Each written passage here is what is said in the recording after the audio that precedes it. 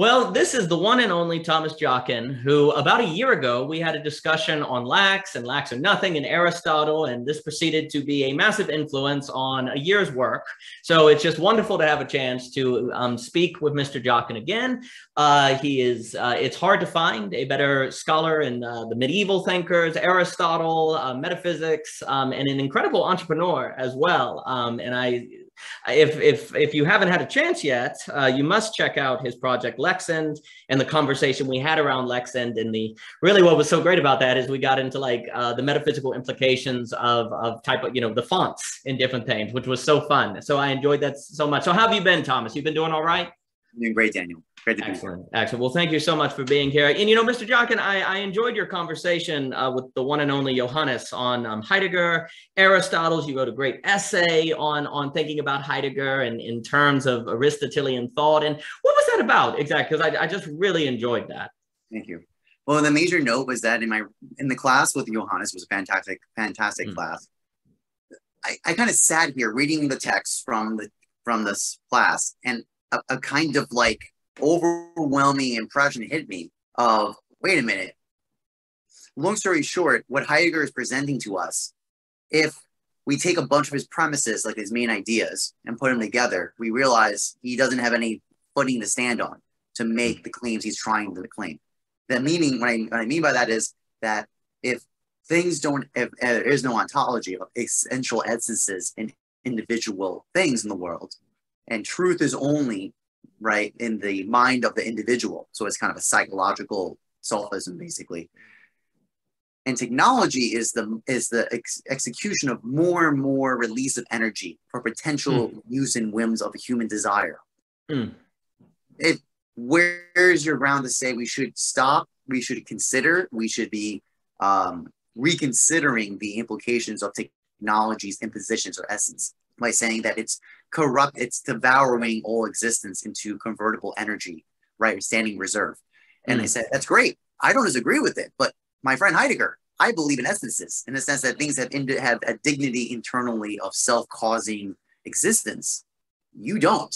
So mm. why would you have any grounds to make the argument that you we should be considering otherwise? If you do mm. think all existence is just in the mind, truth is just cognition of individuals, and desire is actually the only thing that really exists, then we should devour all reality to please human desire.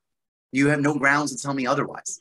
Hmm. And that was the, and, and I acknowledge that, like, you know, I don't have an answer for you. I'm just pointing out this is what I'm seeing. And by the way, I don't even think you really believe in your epistemology of what truth is, because if you're talking about the fact that people run away from death, meaning there's some accounts, some accounts are more true than others right? Hmm. Because there's a point of things omitted, there's things lacking in the account that are true in reality, and that that kind of good in the sense that there's something we, we desire having the truth. That's a good, and we wish to possess it or to witness it as mm. something that's something beautiful and desirable, right? Mm. So Heidegger, so basically, Mr. Heidegger, I love your thinking I'm just, and I don't agree with you that we flee from death and all this yeah. good stuff. Um, and the they tells us what to think, and there's a kind of falsity. But that's my point. Then there is some accounts more true than others, mm. and that we keep going, and then we can stack this with this basic discussion of the philosophical project for a very long time has been talking about things moving from internal essences to external causality right? Hmm. external necessity by either by material or by hypothetical means. And that was a thread of the of the johannes s uh, discussion. Mm. um, with some fun end problems of like okay so what what is substance? What is this thing? What is this thing that heidegger at one point dismisses but seems to have to acknowledge is there at the same time? Right. Um, and i'll be fair actually i think the commentary on that video was really great. Mm. i forgot the name of the individual but i totally agree with one of the individuals that commented. I think this safekeeping of what Heidegger's talking about is lack in difference. He said mm-hmm. difference, but I agree. I if I, I would broaden that be mean as a kind of lack, I would totally agree with it. Um, I think that's totally correct. And that's being mm-hmm. charitable. Heidegger, he never says that.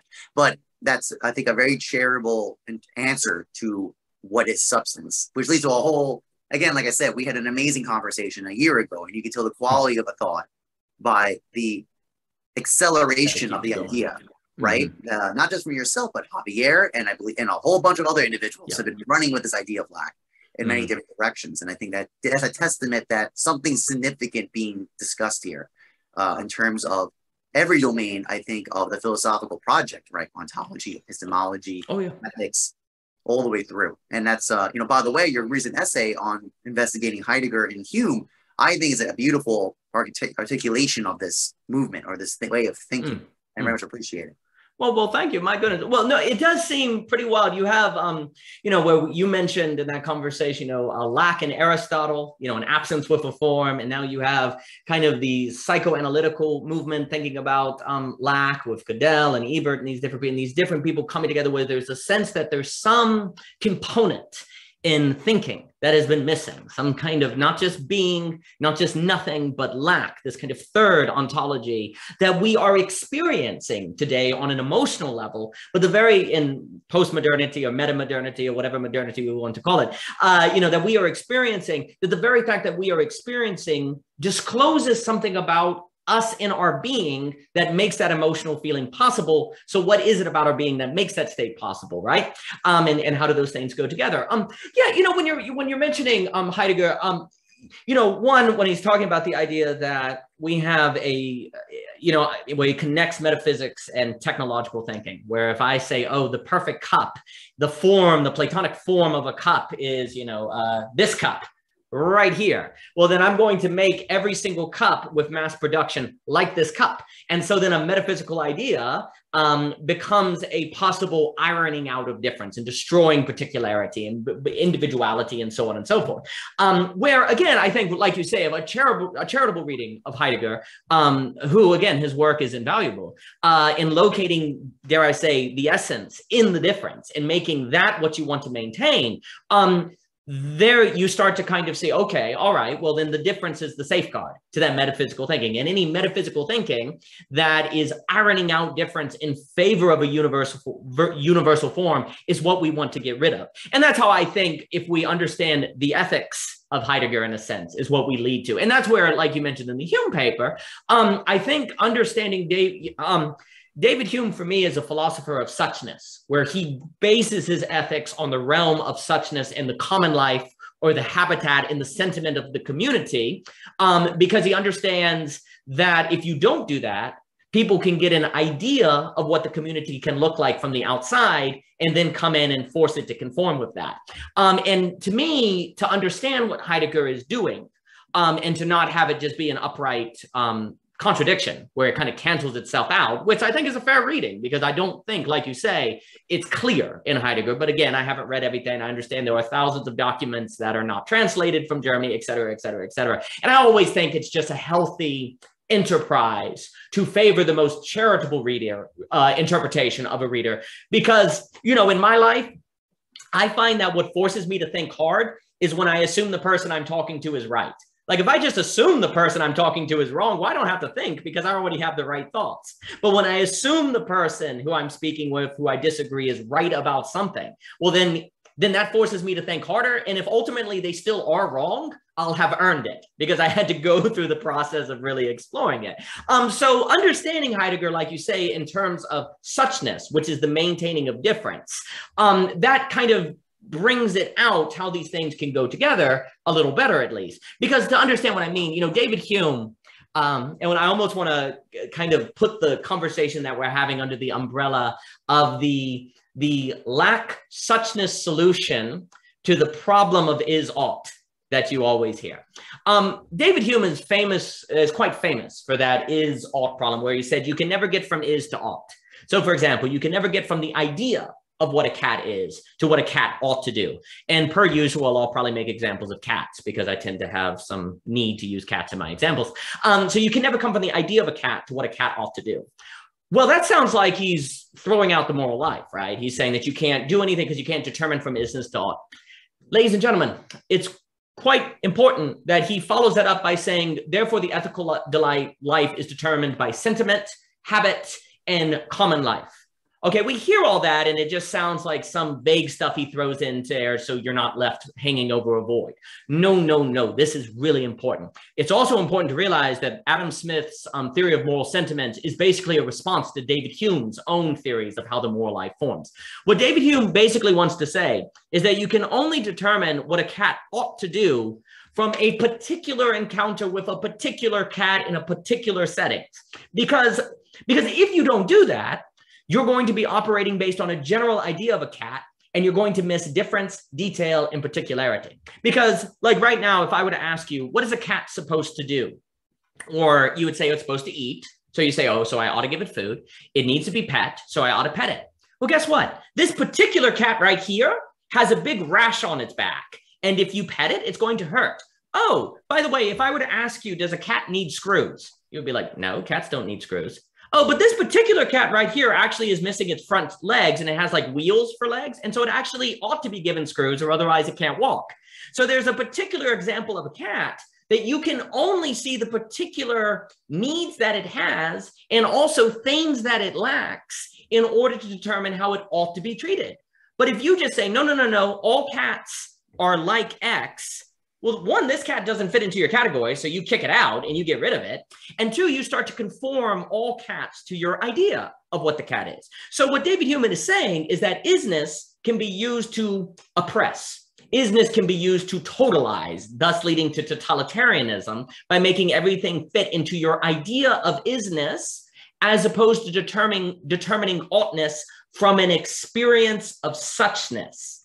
And I think if we want to under, like, if we're being charitable to Heidegger, it would seem that there's something similar going on. He doesn't want us to have an idea of how cups are and therefore iron out difference to meet that thinking because that's going to be in service of technological thinking and mass production. He wants us, he uses that language, if I recall, kind of the disclosure of being, which I associate with suchness. He wants beings to disclose themselves to us as opposed to us conforming them.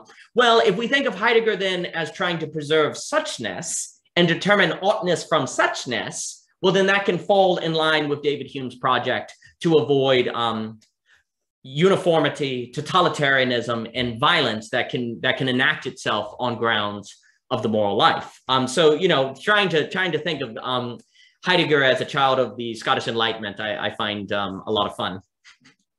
Yeah, no, there's a lot being said there. I mean, listen, the the very first part is his idea of that sentiment, habit, and custom, right?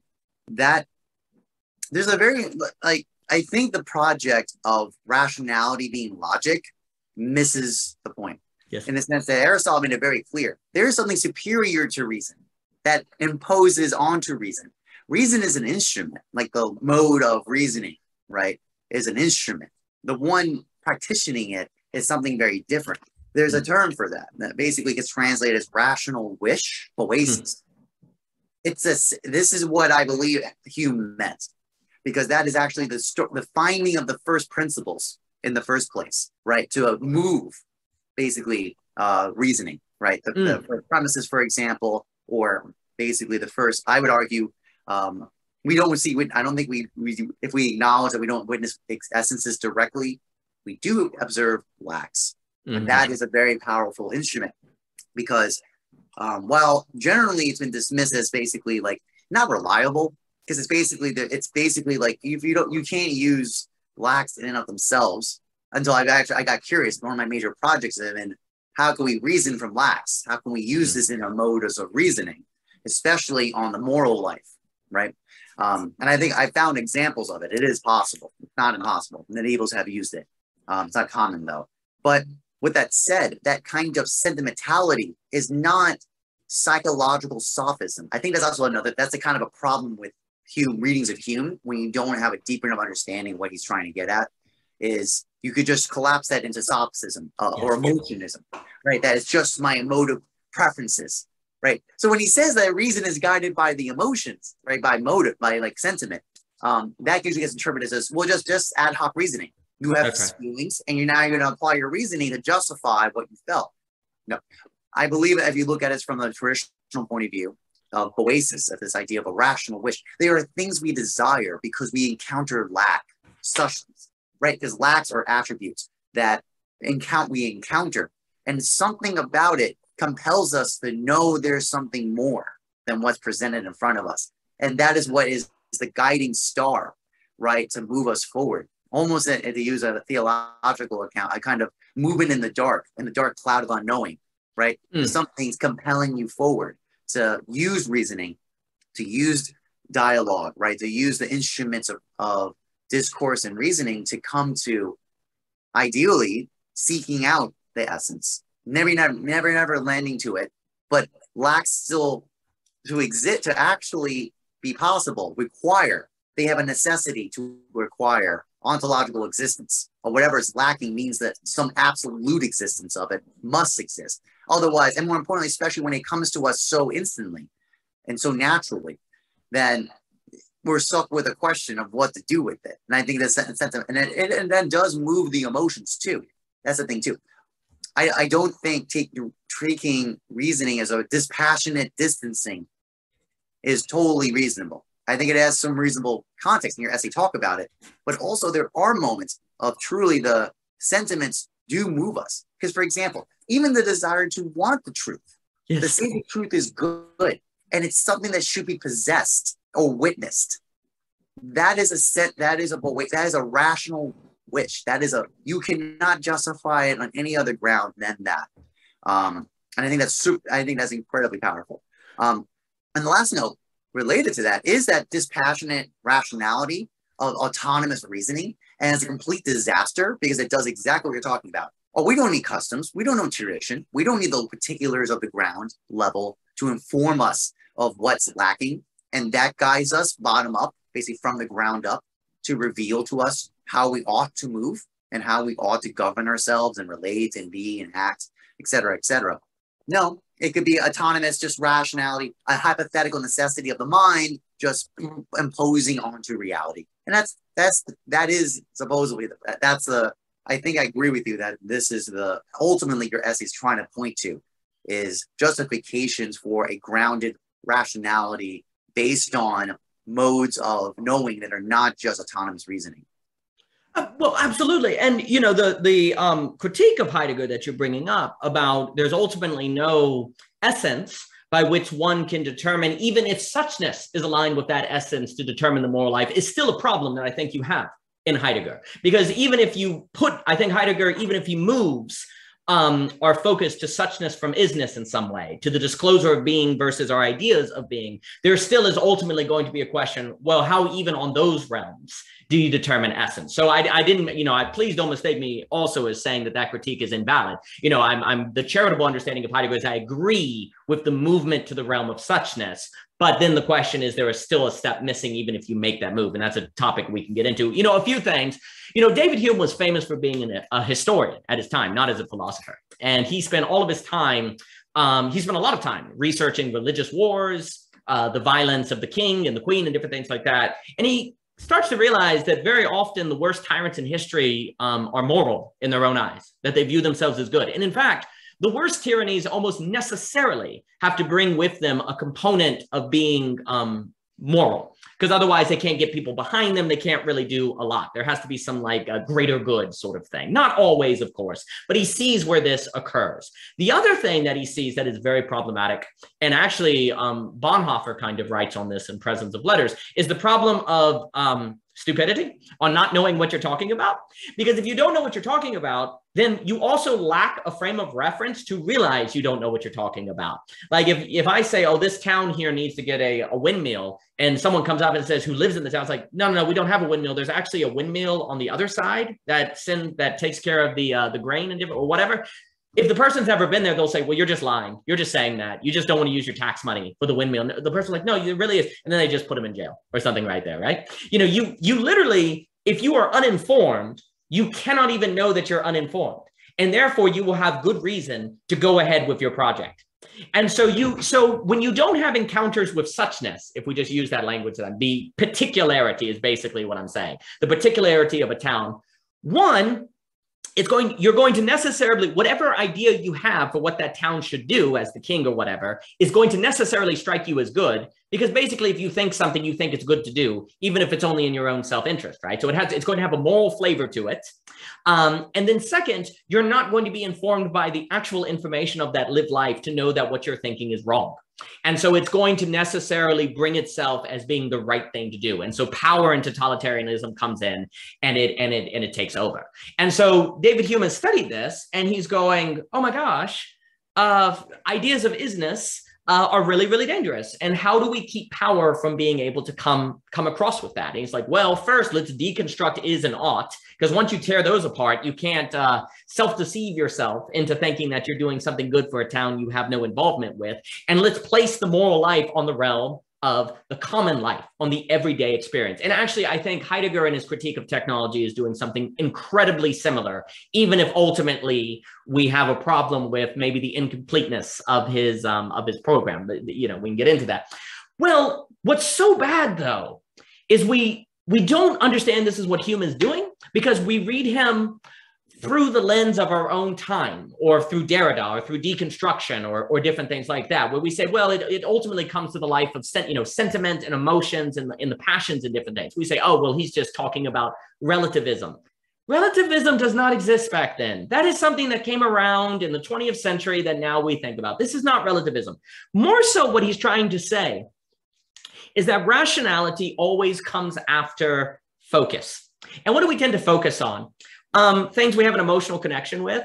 Um, you know, likewise, you know, and he's remember he's in his really good friend Adam Smith is famous for that passage in where he talks in the moral sentiments where he says, you know, if I were to hurt my thumb, I'm going to be more concerned about my thumb than if a disaster kills a thousand people in China or whatever. That's just how we are. Our brain feels the thumb. So we think about the thumb, and that is what all of our thoughts go to.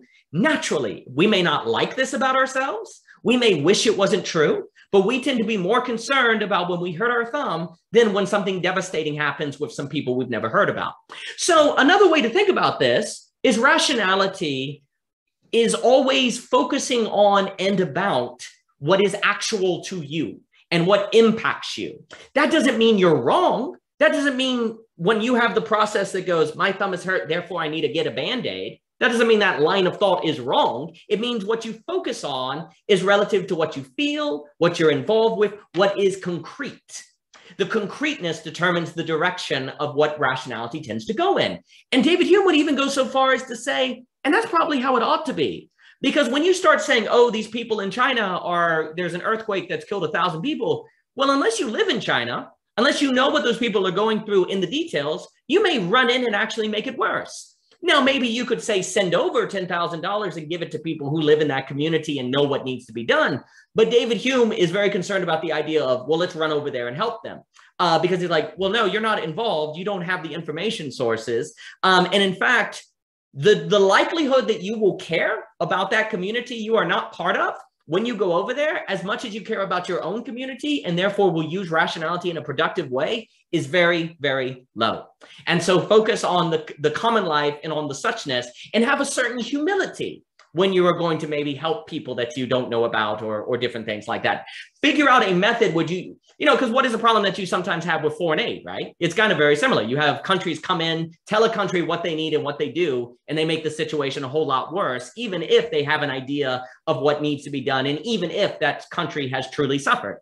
The way you do, say, foreign aid always has to be humble to the actual people who live in those communities and know what. And there needs to be a discussion and a dialogue and different things. So if you take that seriously, what that's basically that concept is what David Hume is getting at with sentiment and emotions and all of those things. But we miss it all because we're reading Hume after Derrida, basically, and and arguably after a misreading of Derrida, if I wanted to be charitable toward even Derrida.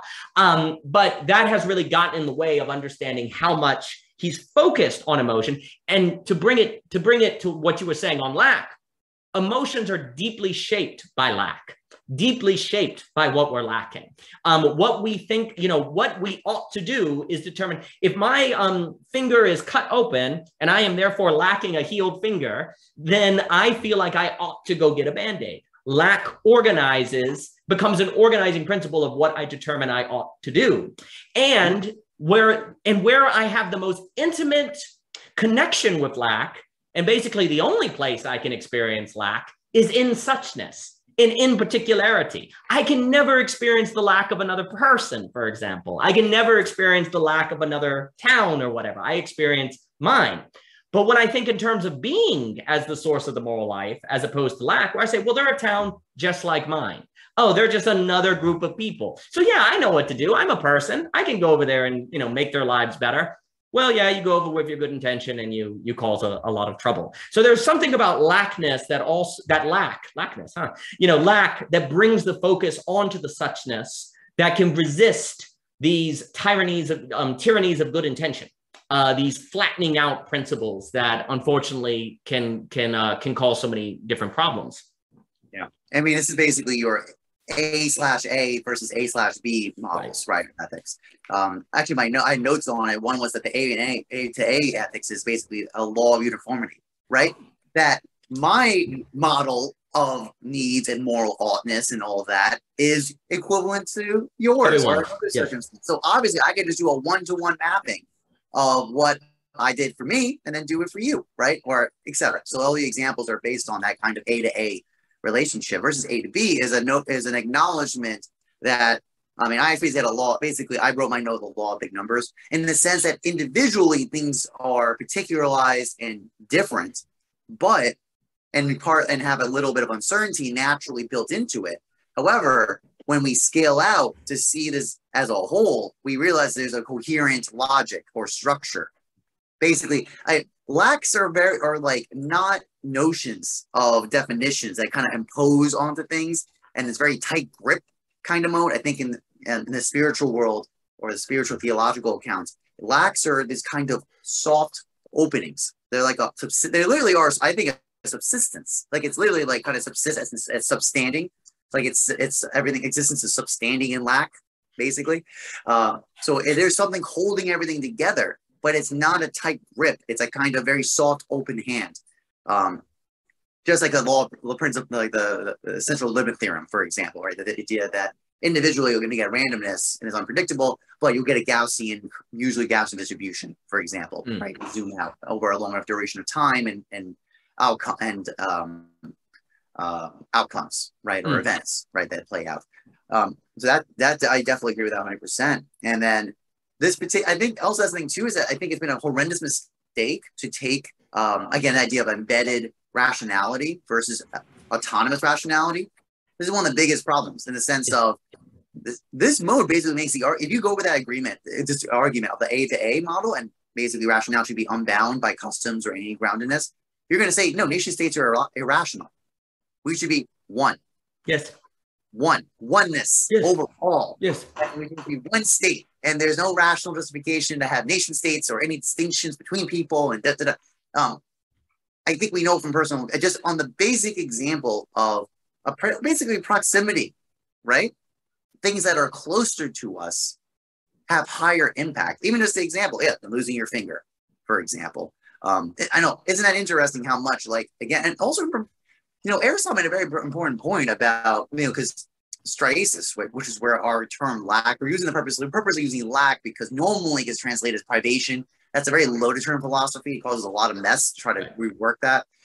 But that's why I've been referencing using lack instead. But there's other sub meanings of it. And one of them is to undergo pain, right? To suffer. So this is idea that this compellingness pulls through with us. So that's why like the use of a cut or losing your finger is a lack that imposes onto you by something taken away by you.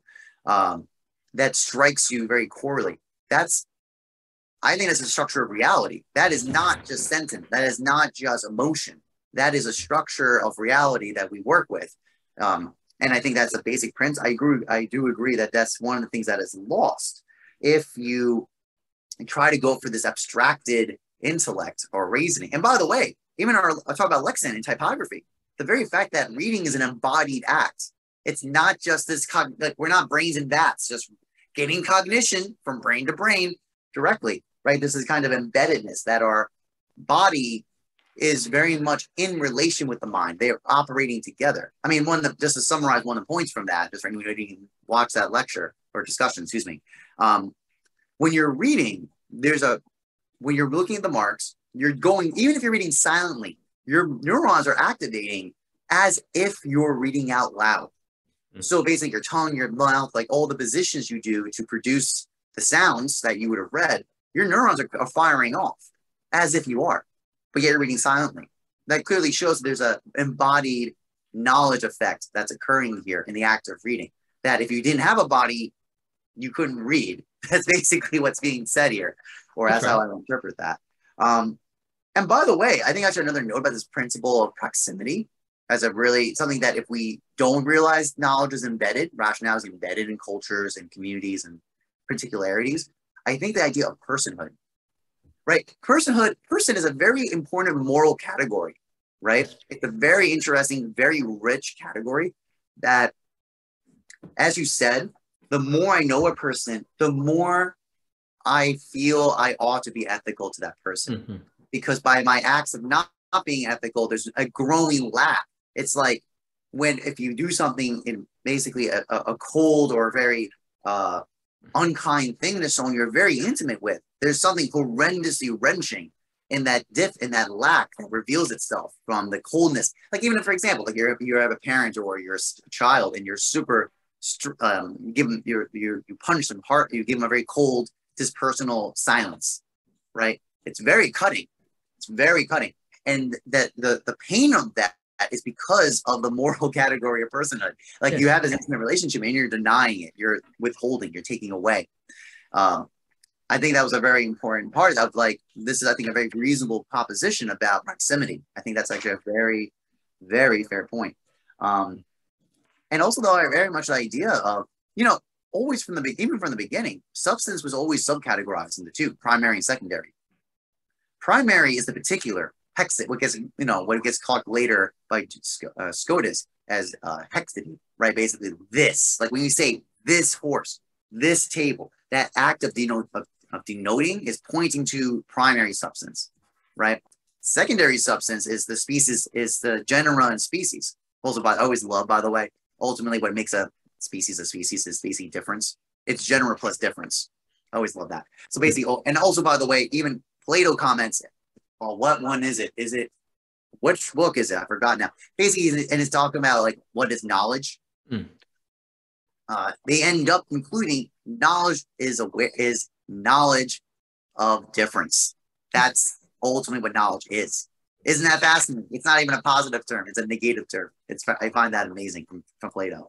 Um, yeah, and also by the way, even from your essay, I think another thing, I think also the humility factor. Uh, there is a very big difference, by the way, by saying uh, X seems to be Y versus X is Y, right? That that kind of seems to versus the copula it is has a huge effect. And actually it poses a kind of mode of how we should reason. Because it basically means like we have to use models of hypothetical uh, reasoning to say okay if that's true if x is y then this then there's some attribute. This is actually where i think this is really important um, this idea of suchness that there are attributes that that would follow through so for example I mean, one of the examples from medievals is the example of laughter the human beings right so if man is a rational animal we should laugh because laughing is a is a secondary attribute of rationality of reason.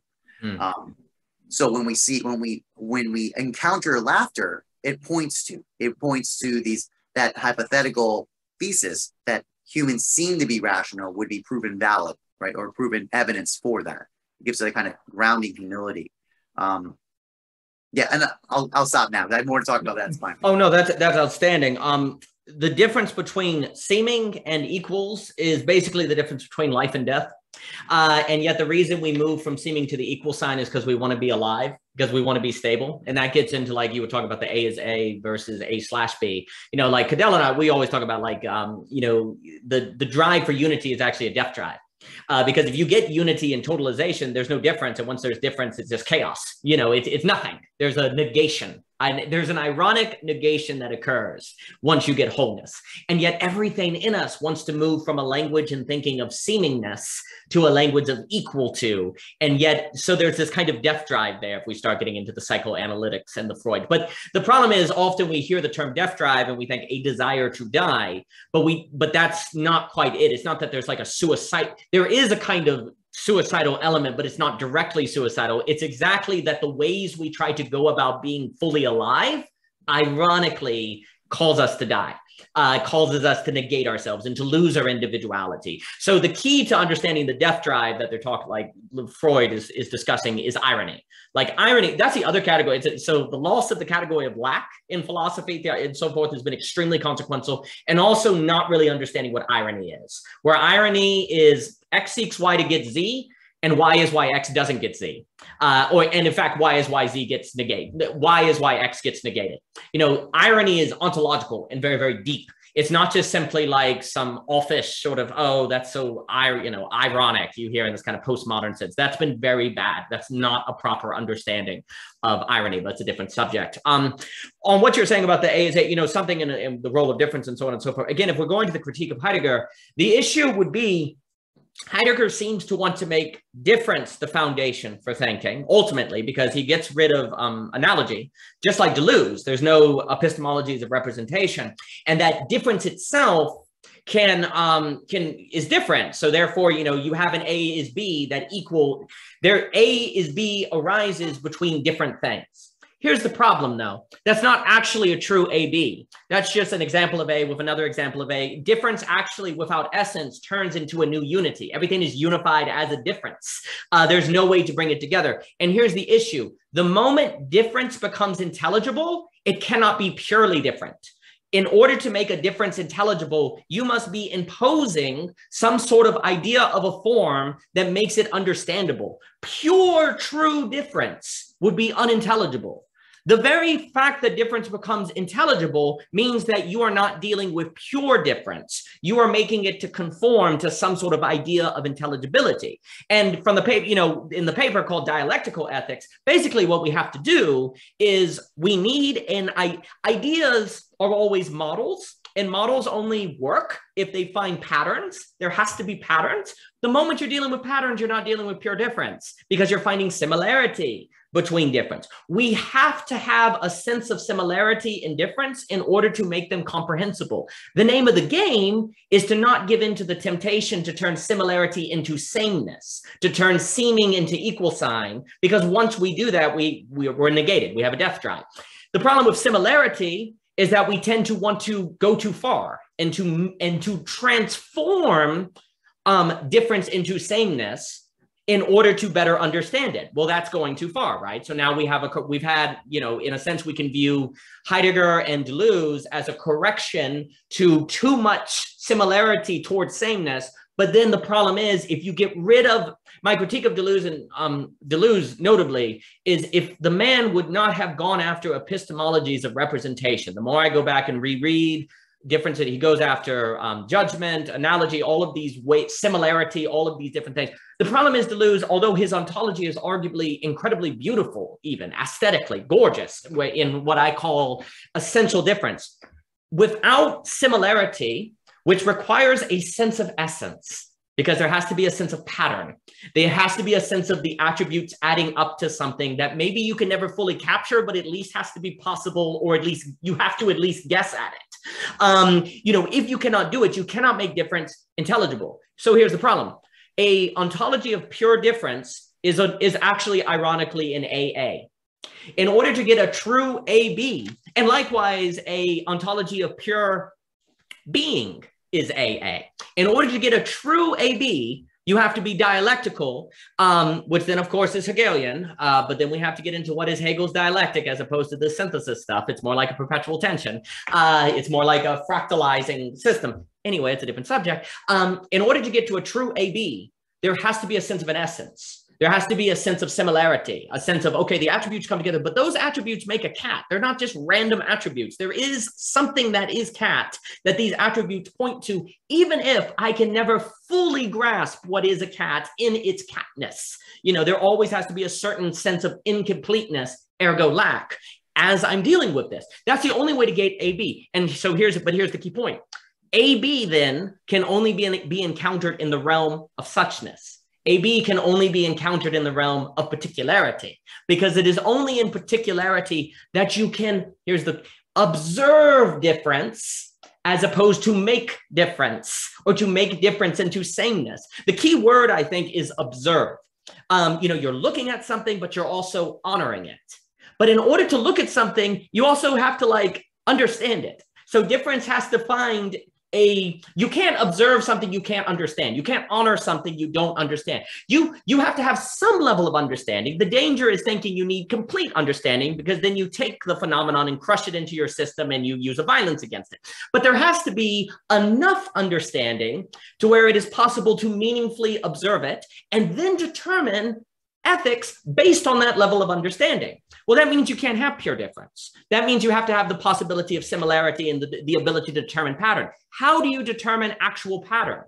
You determine it in suchness. You don't find patterns in your head. You just see the idea of the cat you've always seen in your life. To find patterns between different cats, you have to go into experience, right? And to see each one and to see how cats can be different. And then you can get into the distinctions between accident and essential and and all those different things. But that's all based on suchness. So it is only in the realm of suchness that you can get a true AB.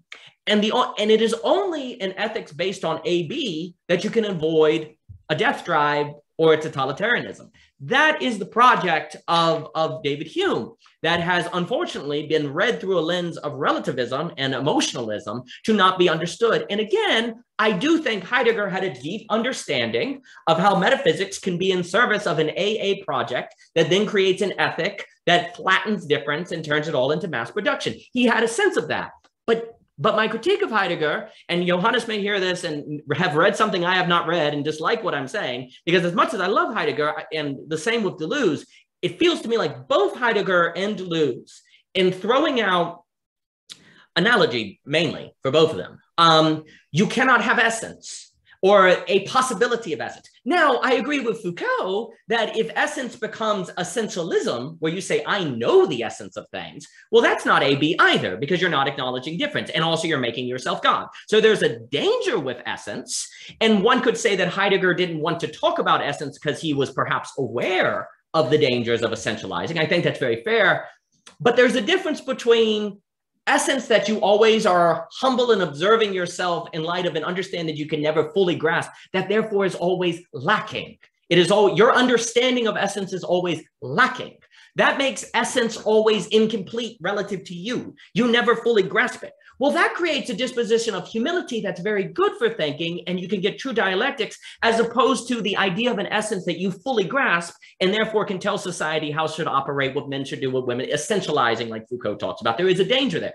But this is where lack is so important as a concept, because lack can come in and keep essence from turning into essentializing, maintain an AB dialectic, locate ethics in the realm of suchness, um, and also, frankly, um, make a little bit of excitement to life. Because if there's like there's lack there's ontological lack then there's some sort of mystery frankly that we can kind of go deeper into. And we've talked about this in the philosophy of limit like this kind of movement into um so again i think i think today we're we're actually kind of in this realm where we think difference alone pure difference essential difference per se can give us an ab when actually it it, it can't. Um, it's going to be another aa just in terms of difference. We ha- you have to bring in similarity to make it intelligible. And worse yet, actually, since you are necessarily as a human being making difference intelligible, even if you tell yourself you're not, um, it's like there, there's like this neurotic relationship then with difference, where you're disowning your ability of you're disowning the fact that you're putting it into categories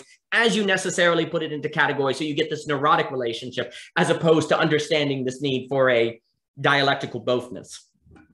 Mm-hmm. I mean, one of my favorite lines, actually, it's from Seven Habits of Highly Effective People. I remember this when I was in my 20s, I was reading it.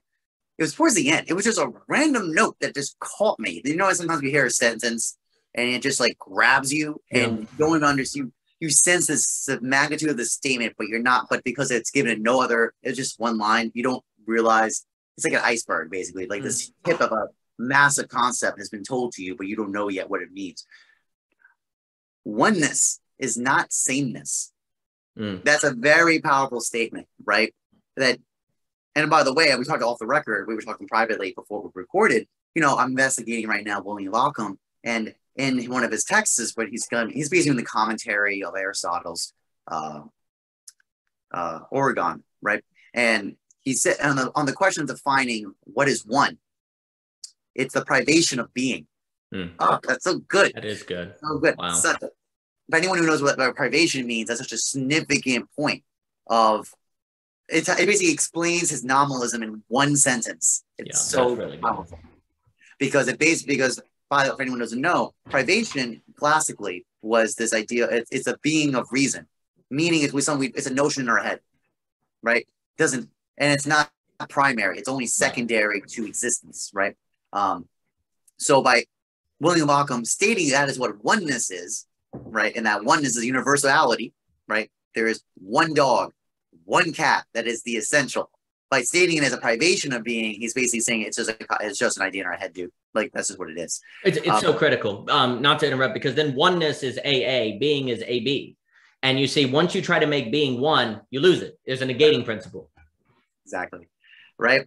And then, and by the way, it leads to the, you know, right, it's the whole point of like, exactly, difference only makes sense in a background of singing. Yes. Or thing is actually makes only makes sense in a difference. You actually yes. can both directions on that point. Um, and that leads to, right, basically the idea, you know, by the way, I mean, we talk again off the record before we recorded, you know, one of my greatest pet peeves, I think if I if I do any contributions to thought in any sense or anything we do together, right? If we could revive what true ethics is, Mm. It's not trolley problems. It is not basically the shelf, the the shelving, like going to the supermarket and just picking out by preference your preferred ethical points, right? You're just kind of picking and choosing. This is what I want today. This is what I want tomorrow. This is convenient for me now. No, ethics was always meant to be a mode of reasoning. This is like art. It's no different than aesthetics being dismissed as basically subjective preference. It's yes. the same issue. Yes, and it's absolutely. No, they are accountable.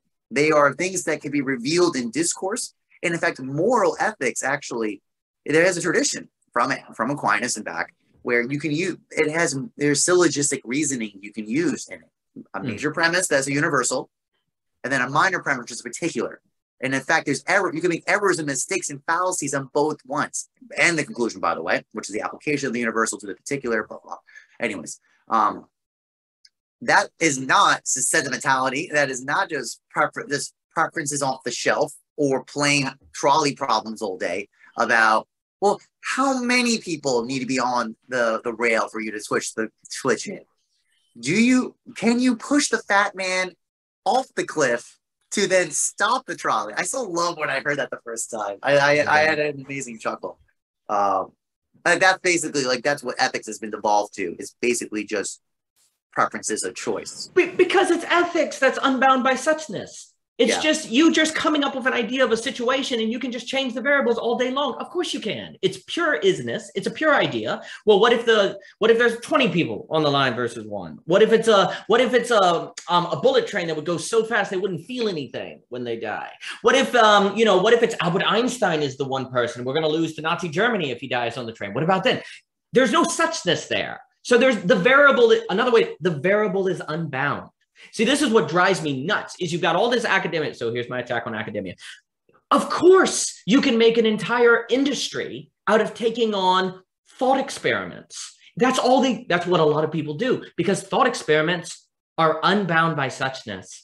There is no there is no relevant moral reasoning that occurs in a thought experiment, unless perhaps you're using it to realize the need for change shifting models relative to suchness. If that's what you're doing, okay. You can, let's put it this way. You may perhaps be able to strengthen your ability to think through problem sets through moral reasoning, you, but you cannot arrive at any meaningful moral conclusions based on thought experiments because that is always relative to the suchness of a freaking situation that you have to be in and available to and open to in order to get any sort of meaningful um, revelation about. Oh, it's a, it's dreadful. I, I just wanted to add the, the thought experiments like that, like the Trolley problem, is isness unbound by suchness. So therefore, it's infinite. You can always just go on forever and get yourself tenure. Mm-hmm. Yeah, and with no, with actually no grounding to reality, and it and, and also again like it's just preferences. It's just it's just asking the question: When do you subjectively switch? like where do you tip the scale? Yeah, that's it. Yeah, that's all. Yeah. Yeah, relative to a situation you're never in. So what is it? What you can't if you if your switch were to change at 20 people versus 19, that will not give you any conclusion that you can then apply to other situations beyond the thought experiment. It doesn't tell you anything. All it does is make you doubt the legitimacy of moral reasoning. That's all it does. And then nobody does it. In the same way that if you make people think art is in the eye of the beholder as opposed to conditional, there is a radical difference between subject and conditionality. I say, in order to read, to enjoy the beauty of Tolstoy, you have to meet the condition of being literate. That doesn't mean that Tolstoy is therefore subjective. Yeah, maybe you enjoy Dostoevsky more than Tolstoy because you've had more because the character of Alyosha reminds you of you because you have met the conditions of connecting with the character of Alyosha because you've gone through a religious dark night of the soul and therefore that book is more important to you than Tolstoy. But the reason for that preference is due to you meeting certain conditions in your life that transforms what teaches you versus not. There's a conditionality involved as opposed to a subjectivity. So it goes with moral reasoning. There are what is the what you ought to do is relative to the conditions met by the suchness of a given situation. That doesn't mean it's relative. Here's the this is why it's so bad not to get the difference between is and such as we are so using it. Because in isness, it is relative because the ontological compositional variables of the situation can move. So it's relative. Of course it is. It's relative all the way down. There's nothing stable. Condition means there is, in fact, a stable ground of a situation of suchness that you have to meet the conditions of to understand. A thought experiment, the very world the thought experiment is taking in shifts every second and it moves around. So, of course, it's all relative because there's no stable ontology, dang it. There's no stable situation. There's no stable anything. So yeah, it's relative. It's relative to whatever the philosopher freaking professor happened to come up with that day to complexify the trolley problem. But in the world, more that is relatively solid, you know, we can get through time into, but the world is solid. There is a world here. Um, then there are conditions that you meet um, there are conditions there of which determine what is moral. And it's not relative all the down, way down. It's conditional on the suchness. Now, a few things. I know the hardness of the world. If we would like to get into the um, virtual reality, everything is Elon Musk, uh, science experiment, whatever, that's fine. Relative to you, it is practically still solid. Dang it! You know, you just you just add a practical there as opposed to an actual, and it's the the the, the problem set works as such. Second, I mentioned a cat not having legs at the beginning with wheels. No animals were actually hurt in this discussion. Okay, uh, so don't worry about that, everyone. And well, and and again if if you if you have reasoning that views it, it, it, it all feeds together, and then I'll give it back to you. Because if you're led to believe that moral reasoning is always relative, um, well, then you'll say difference doesn't have any similarity about it. There is no similarity to be found because it's all just sort of separating. And so, so of course you're going to have tribalism. Of course you're going to have political everything falling apart in society, pulling far and far. You you're everyone's talking about the need for people to come together, you know, to be, you know, to come together to fight global warming, come together to restore political stability. You have a freaking philosophy of pure difference. No, people are not coming together. You have taken away from them the possibility of an epistemology of similarity that could make it possible for difference to come together. Don't get me wrong, that's a great way to fight totalitarianism from the 20th century that was too much based on being. But once you go to pure difference, you can't bring it together. Of course you can't. So it all has, I, that was just to point out. Again, David Hume is so concerned about how philosophy has socio-political consequences. Like he's aware that if you think you can get to ought from is, then you're going to have totalitarian regimes. Similarly, if you have a philosophy of pure difference, then you get freaking tribalism, you know, conspiracy, all this sort of separating where people are getting lost down various Pritchett novel rabbit holes or getting lost in their own groups that make everyone else an enemy. That just logically follows. Mm-hmm. Mm-hmm. Mm-hmm. You know, it's funny. So actually, um, this reminds me of the topic the medievals were debating about the hierarchy of the sciences and bodies mm. of knowledge. Basically, do the higher sciences subaltern the lower sciences? So, for example, like mathematics versus optics, for example, like how what is the relationships of bodies of knowledge? There was a serious debate. Do you have essences that are known within the bodies of higher science that go one to one, an A to A model, mm. from the higher science down into the lower science. So like biology, like things like that. Um, and I, I would make the argument in the way we're talking that more ethics and the political and the political dialogue of science. You know, Aristotle said it was the, it is the highest science mm-hmm. within the domain of uh, non-theology, in the sense that it, it orders and directs all the other sciences. So this is what I'm bringing this up to say, do our moral claims have a one-to-one map out to every single application, an A to A discussion, or is there information on the particularity of each subdiscipline that informs the difference Yes. Again, yes. with the higher science. So meaning basically you can apply mathematics to economics, to chemistry. Yeah, you can. But there are clear differences between cooking and chemistry and uh, geometry, for example. There are differences. So which one is it?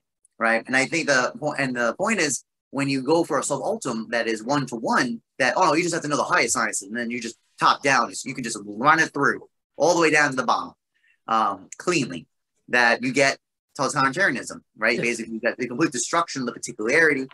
But likewise, if you go pure particulars, of oh no, there's no commonality. There's absolutely nothing bounding this to any other science or any other framing. It also means that oh no, the moral world life has no bearing to our science, to our politics, to anything, which is hilarious because that was never the understanding historically or traditionally in any sense. Um, so it's neither. So to be honest, neither position is legitimate right? Absolute unity of the subaltern one-to-one relationship with the higher sciences to the lower bodies of knowledge, either or complete difference. There's absolutely no overlap of the disciplines in any sense. We all know that's nonsense because you could not. How could you possibly? That would mean that you couldn't use mathematics to explain anything about right. other discipline, and we use mathematics all the time. This is one example.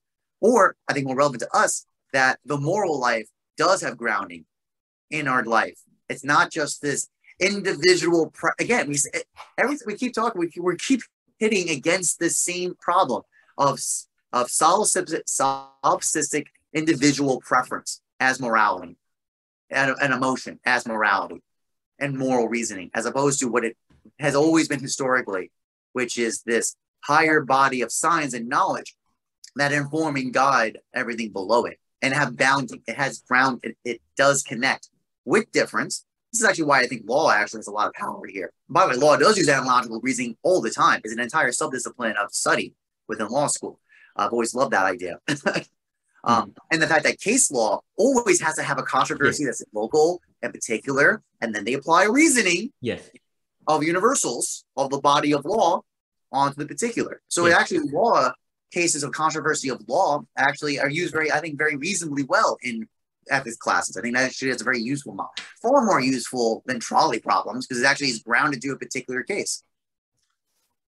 So many of the classical um, metaphysicists, um, metaphysicists or meta, metaphysical philosophers um, had degrees in law a lot of them did a lot of work in legal or the court or different things. Uh, the epistemology that you learn in law is indeed far more far more useful. Um, you know, a few things. One, I did want to comment on how you were saying that it's always like moral reasoning and, and so on and so forth.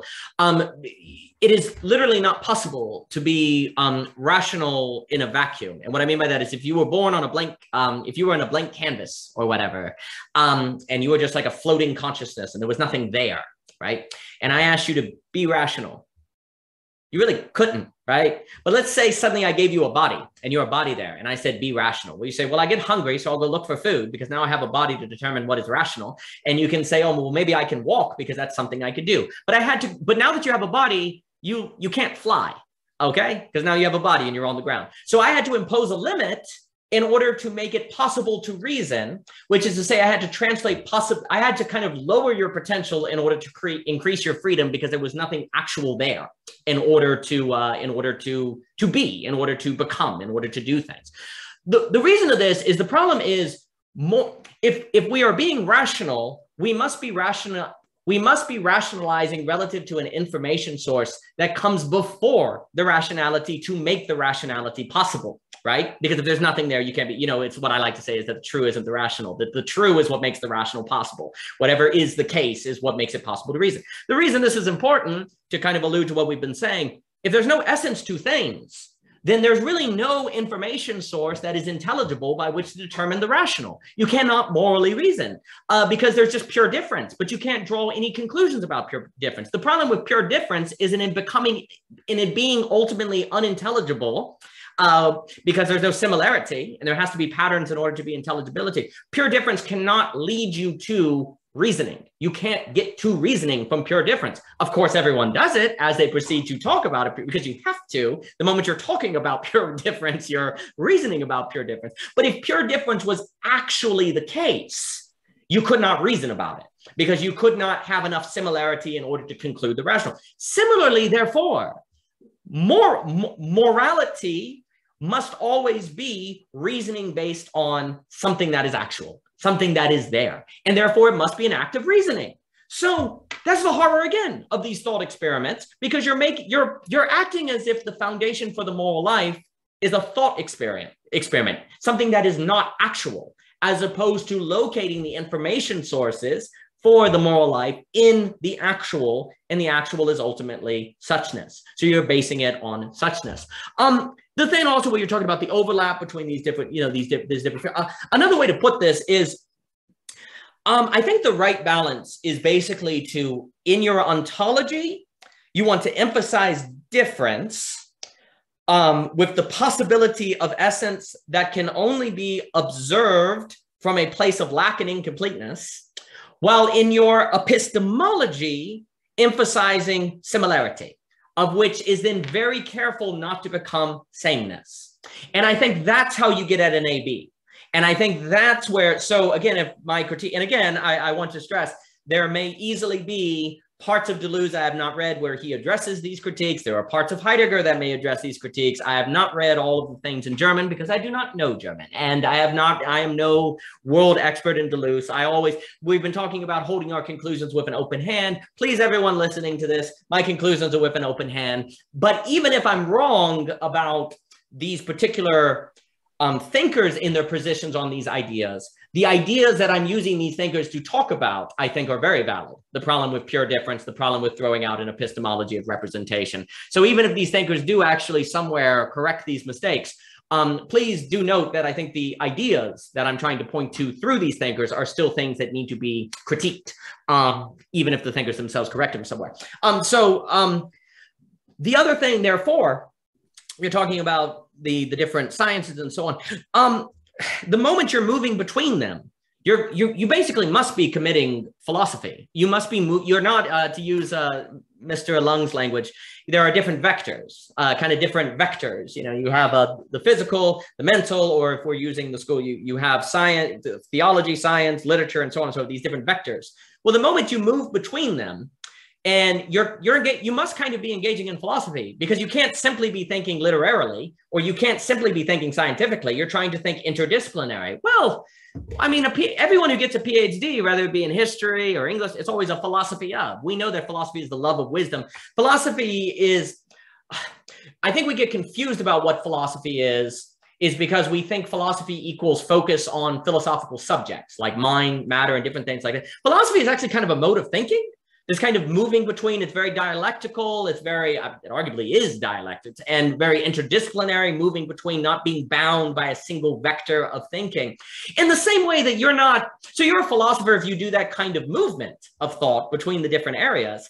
Um, in the same way that you're not a scientist just because you talk about the brain or gravity. No, no, no. You're a scientist if you use the scientific method. You have to use a method to be a scientist. I, Daniel L. Garner, can talk about um, quantum mechanics. I am no scientist. I can talk about scientific subjects, but I have I don't myself go into the lab. You become a some scientist by using a method. Likewise, I think we sometimes get confused about what philosophy is because we think philosophy is talking about certain subjects as opposed to a certain way of thinking.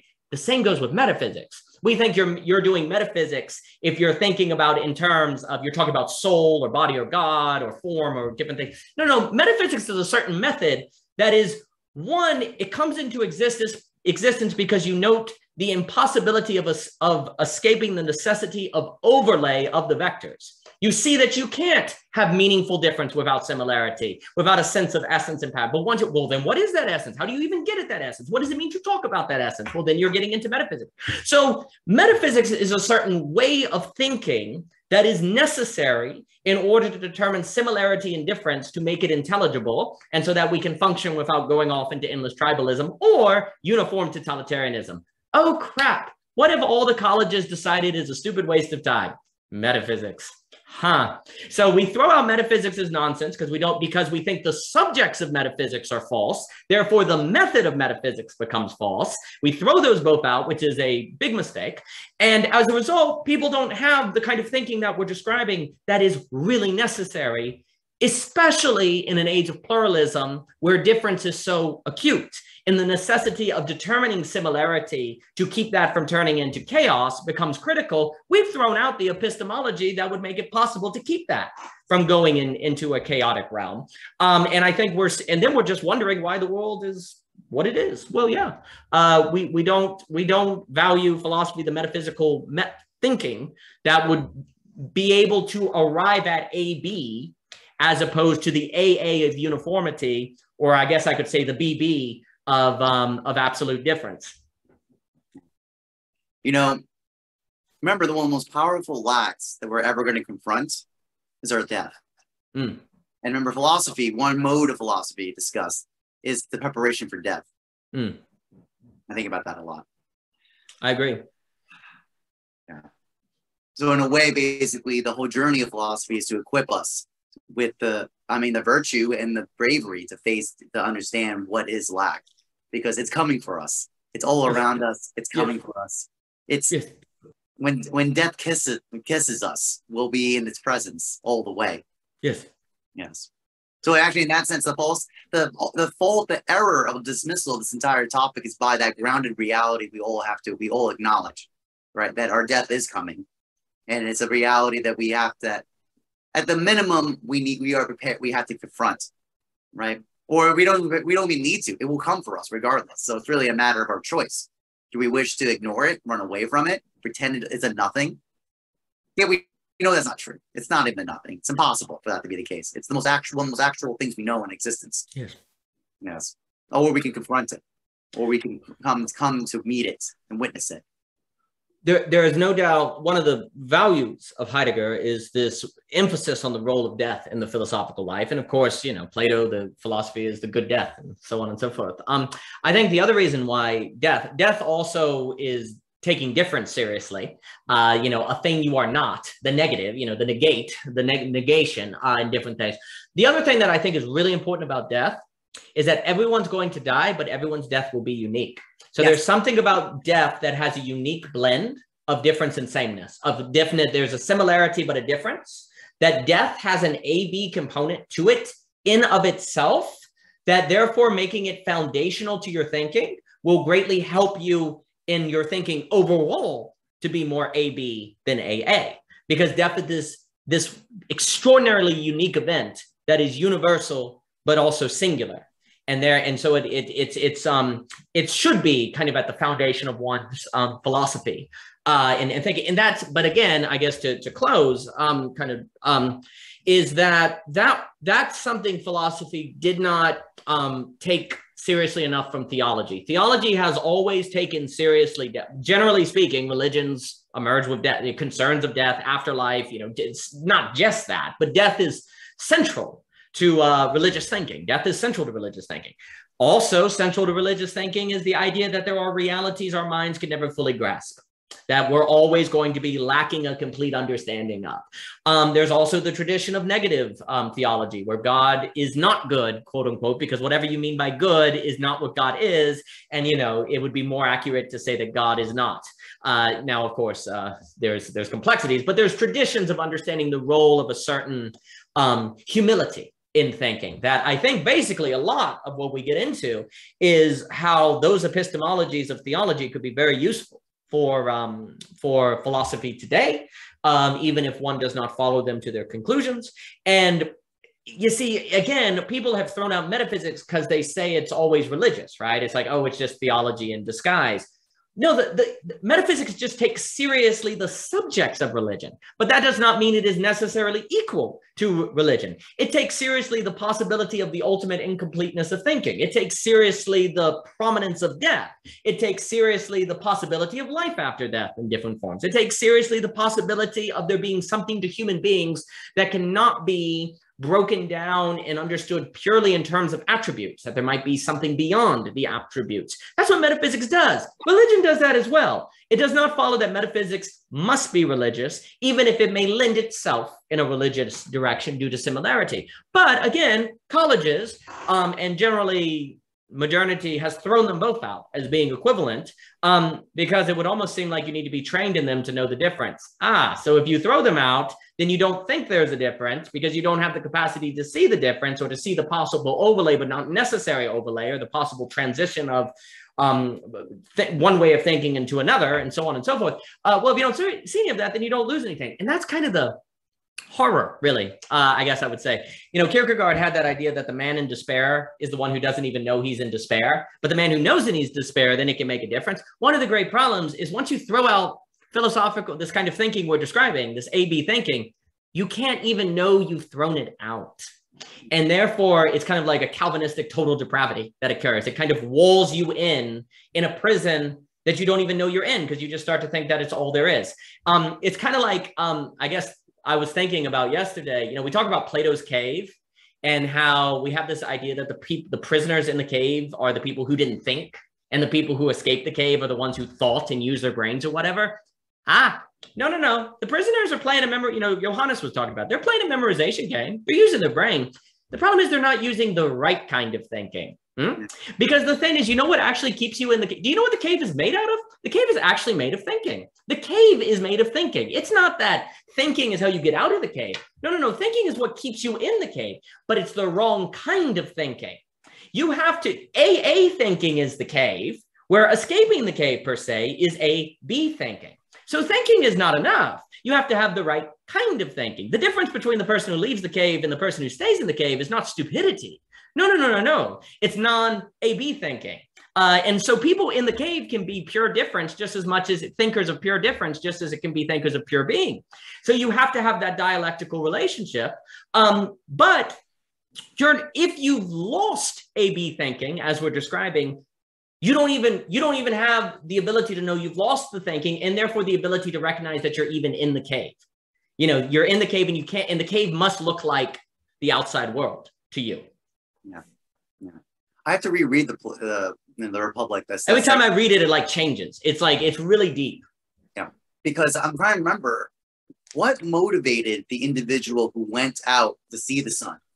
What was i forgot i forgot my mind's blanking. What was his motivation well, it's a great question. There's some, you know, Plato makes an example. He says, well, maybe a guard pulls him out. Maybe he um, is uh, he's rejected and forced to go out. Plato goes through, if I recall, goes through some hypotheticals. But then there's this example where the Heidegger just is mysteriously freed. It's like an accident where he's just freed. It's not. I think what you're getting at is really important, and and I, um because it actually is not the case that the Plato has the idea that there's an outside world and that he should go. It's very, it seems very accidental and mysterious. And actually, the cave goes to the outside world primarily because he sees something. He walks. I really want to make this point. It's not the, the person in the cave acts. He does things. He goes outside. He faces the pain of the sun in his eyes and he goes, he doesn't just think, he does something. He encounters his suchness of there being an exit here, any reasons to go out. You cannot reduce leaving the cave to a mere act of thinking. It is, it, frankly, the only reason he's able to think about the outside world is because he goes to it. He does something.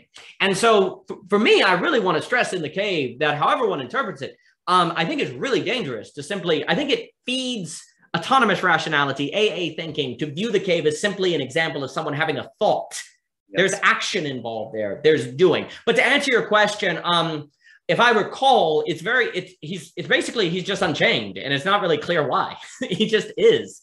A missed opportunity because I think that's actually the most fundamental question at the end of the matter. What wakes up or what motivates that individual who's bounded to unbound themselves, right? Or to, to move to action when they're stuck in a loop of thought that kind of nudge? Is it randomness? Is it chance? Is it desire? I mean, is it, but I'm getting at, is it, is there a kind of sentiment, right? They kind of connect to your point about Hume, right? Or I would argue this yes. kind of uh, rational wish that there's something about the AA model of the shadows presented to this individual that strikes him as untrue. There's something lacking that compels him to wish to move forward, right, into action, which leads him down this blind path of basically ignorance. Because remember, he goes out to the sun, and gets obliterated. No, not literally, but like, well, his eyes and all. Yeah, yeah, yeah. It's just too much. Uh, I'm, I'm, I'm reading into that. I fully admit because I agree. I'm just that's not no, it's not presented by Plato, but I actually almost feel like the missed opportunity in the in the allegory because there's a, such an important aspect of that. that connects the loop of internal thought of AA to the action to seek out AB. I think you're pointing at basically the deepest, most important question. Uh, because, you know, in a lot of my thinking, I get into where does intrinsic motivation come from? Because in the creative concord i talk about that's the foundation of the artifacts that creates new technologies and so forth the uh, intrinsic motivation is what um, calms down the business cycles intrinsic motivation is what uh, leads people to like pursuing truth and deeper into beauty intrinsic motivation is really really freaking monstrous so where in the world the the basically the person in the cave only leaves because of there has to be intrinsic motivation of some kind from somewhere.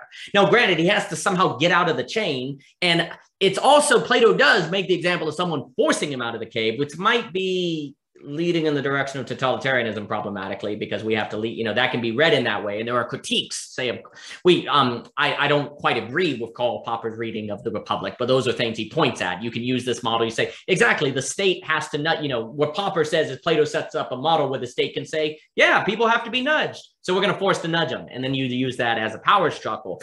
But it, but the cave does not have to be taken that way because the, the, the, the, the version of the allegory that Plato focuses on is where the prisoner takes themselves out. He just makes an example that he maybe one of the ways he could leave is somebody forces them out.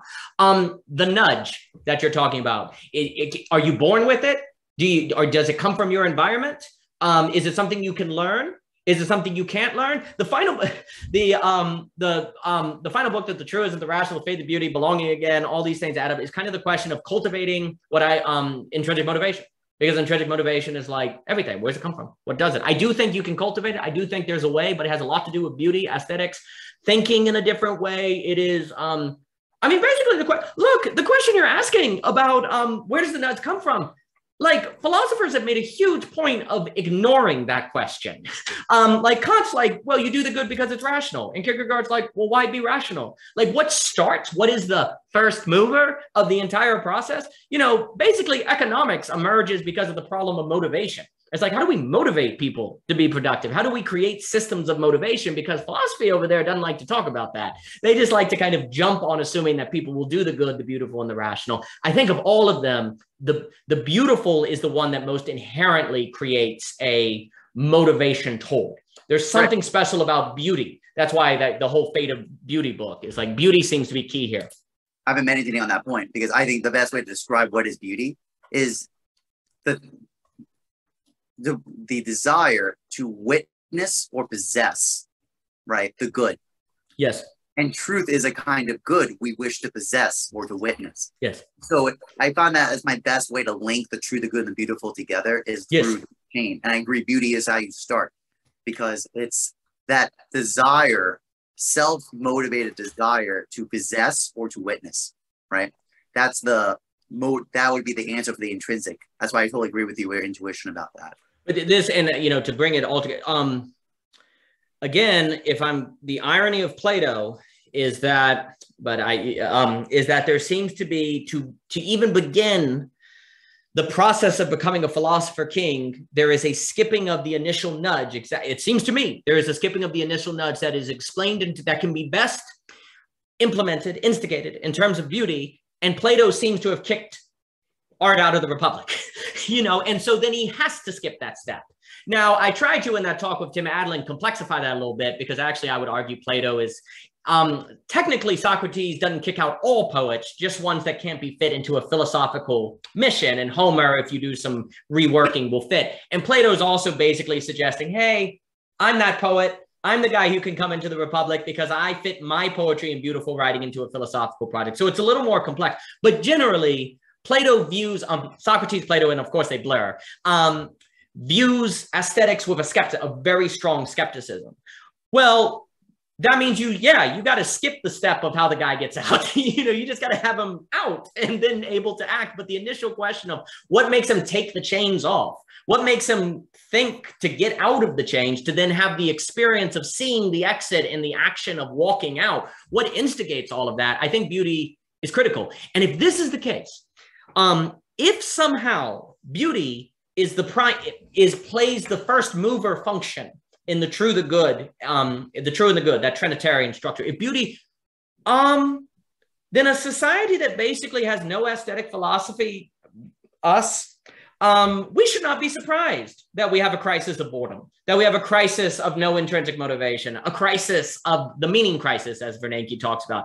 And we should be doing everything in our power to increase experiences of beauty and aesthetic capabilities, because that is what starts the philosophical life, the good life, the, the AB life, the life that is not tribal, the life that is not totalitarian. It's by having beauty at the foundation. Because ultimately, that would mean if beauty has a first mover function, then the fate of beauty is the fate of us. Because if we don't have beautiful experiences, we don't go anywhere and we stay in the cave.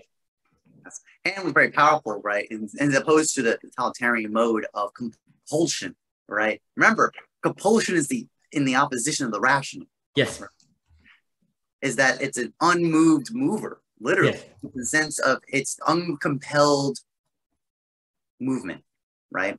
That yes. it's it's by an intrinsic principle inside oneself that you're compelled. You know, one of my favorite one of my favorite yes. names, you know, the nine nineties of God in Islam. Um, one of them is the compeller, but it's not in the sense of an external force. It's pushing. It's attraction. It's attraction exactly. It's so critical. The beauty and freedom die or rise together. You know you can't if um if i find a human being beautiful you don't have to create law that forces me to be moral. I will naturally be moral because i find them beautiful. We always treat what we find beautiful with care and also, I'm naturally organized by a behavior around it that brings out its optimal state or that best preserves it. Beauty and freedom go together pro freaking foundly. But we just want to talk about how freedom and like education go together. That's all we talk about. Well, guess what? Without beauty, that tends to become autonomous rationality. And so then the very thing, again, the irony, therefore, the very thing that we think will increase freedom, education becomes the very thing that destroys freedom because you get autonomous rationality, which necessarily goes in a totalitarian direction. No, the loss of beauty is a loss of it's basically a loss of everything. Like if you do not have a culture that has the ability to see beauty, to meet the conditionality of it, and to value beauty as something more than just subjective, as in fact being a result of there being higher conditionalities that we have to rise to in a, in a nearly courageous and heroic sense, right? If you don't believe in any of that, then nothing takes off. And the good, when we talk about the good, the true, and the beautiful, all three of those, when they exist independent of one another, can become a terror. Beauty without truth and goodness can be used to attract people, like envy or sort of some of the goddesses, different things. You know, truth without good and beauty is just stale and oppressive you know, these are the facts. It doesn't matter if they're good. But if you have goodness without truth and beauty, it could just be like Satan tempting you, you know, coming from the tree of knowledge, right? So the beauty, the good, and the truth, they always have to exist together in a kind of dance. They always have to meet. Human, if we separate them, we're in trouble. We exist in an age that is primarily lost the beautiful, um, that does not really even know what it is or what we're describing beyond subjective taste or whatever. And as a result, our efforts for the good are oppressive and our efforts for the true are dead. And then we wonder what's going on in the world. And by the way, I mean, I think one of the biggest contentions on this discussion of beauty is we're not just talking about physical beauty. In fact, every major thinker has always pointed out that the truest beauty yes. is not is the it's virtue, yes. right? That shining forth of beautiful acts yes. that are good and true, yes. right? That's right. And that's the thing too. Is that actually relates to your relationship of things we treat, we think are beautiful, we care. Care is a deposition of relation. And Heidegger, actually, that's like Heidegger is the kills because Heidegger touches on that, that sense of care. Um, it's this, it's this directiveness of how one acts. And that's a very beautiful, and that is true beauty, right? Because virtue is in an act, right? It's a habituation, to be fair, actually, not just one individual act, but it's the fact it's repeated over and over and over again. Both Deleuze and Heidegger are like right there with their emphasis on the aesthetic and the poet. But for some reason, I um both of them don't want anything to do with epistemology as a representation or similarity. They don't want anything to do with analogy. They don't want anything to do with judgment. I get it. I mean, Deleuze has just watched where people have used similarity, communism oppress totalitarian regimes. They've oppressed people in the name of we're all the same, we're all Americans. Corporations iron things out. I get having a giant dislike of similarity. I do, I do, I do, I do. And I understand that Heidegger has also seen the, the tendency of essentialism, and he has seen some of the problems of religious, the, the how religion um, uses essences in problematic ways. I understand. But guys, if you throw out um, uh, epistemologies of representation, you still end up in another AA. You still end up in another uniformity that is very problematic. You don't have the the dialectic and both of them don't seem um i'm not as i know we all know that deleuze dislikes hegel um and there can be some tendency to not want to associate that. I, and but but that movement of back and forth because again if we're thinking of the true the true the beautiful and the good i mean th- theologically like austin Farrer, they talk about it as a dance like they're, they're, they're, you can't, it's a, the, the dance cannot be reduced to the dancers, but it's not also, it's also not possible with the dancers. It's, it's an emergent relationship, right? That they all kind of go together and the dance vanishes when it stops. But when the dance is going on, you can't locate it, but with a mixture of between the dancers and the dancers themselves, it all goes together. So it goes with the true, the beautiful, and the good, which, um, again, that, uh, that is what you're trying to do. That is what AB is trying to do is to create this sort of dance movement, which of course means um, you always have to be an active thinker. You can never get a system that stops moving. You always have to be thinking and examining, and that can be tiring in different things. Um, but the only, but that means there's a movement, and Hegel's dialectic is the best epistemology that I know of that matches on that movement. If you don't want any, if you don't want anything to do with the philosophy of the right or the philosophy of history, okay, all right. But that dialectic is a very, very important epistemological tool, especially when you think of it as setting up, and it would be a different discussion, and hopefully the piece on how discussion dialectics are not Hegelian dialectics makes this clear. The dialectic is not merely this um, thesis, antithesis, synthesis thing. It is more like this dance structure where it's always making something new out of what pre-existed and then the new reflects back on the old and that makes something new. The old never vanishes in the dialectic. It's always being made new with the new thing that emerges out of the tension of the old and it goes on and it's much more, it's actually much richer than this kind of vanishing act that we have. It's more like a dance, and I and I think um, that's how we have to think about it. If we're going to keep uh, uh, the world today from devolving into totalitarianism of the right or the left, or from devolving into anarchy and tribalism, we need we need to think um, of of how to take in the world in terms of a dance between the true, the good, and the beautiful. And I think that's our challenge today. And I think analogy would probably will be one of the means. Necessary, completely necessary. You know, what is courage? What is justice? It's individuated and it's not the same, yet they are the same at the same time. Like it's that difference and similarity dance, right? That we see because every every example example pointing to the exemplar, right? Yes. Of justice, of bravery, of fortitude, of prudence, et cetera, et cetera, et cetera, right? Is individuated and unique and one, right? But yet bounded together in a comprehension that we all understand, that we all of his witness, basically. The, the thing is, again, if if one can understand the critiques against analogy that say someone um, like Deleuze seems to, to levy are completely valid if analogy is based on isness. Because yes, isness is fundamentally oppressive.